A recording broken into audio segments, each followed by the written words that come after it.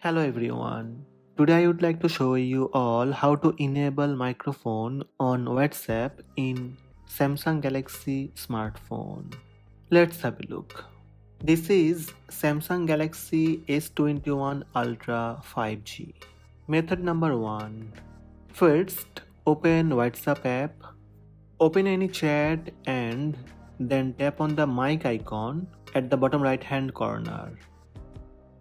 To record a voice message, allow WhatsApp access your microphone. Tap Continue. Allow WhatsApp to record audio. Tap while using the app. That's it. Now you can send voice message. Method number 2. First, open Settings app Scroll down and tap apps.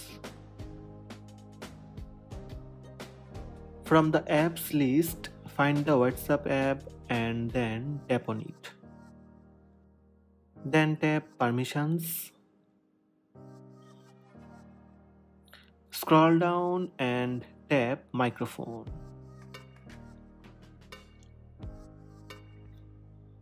Finally, select allow only while using the app.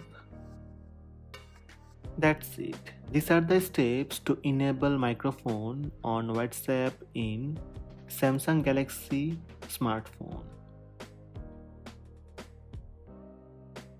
Hope this video help you. Please subscribe my channel by tap subscribe button.